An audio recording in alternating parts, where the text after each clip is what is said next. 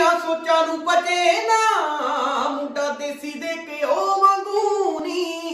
ਉਹ ਗੋਡੇ ਦੀ ਦੇ ਆ ਮੰਡੀਰ ਕੁੱਟਦੀ, ਮੈਨੂੰ ਮੰਨਦਾ ਏ ਪਿਓ ਵਾਂਗੂ ਨੀ।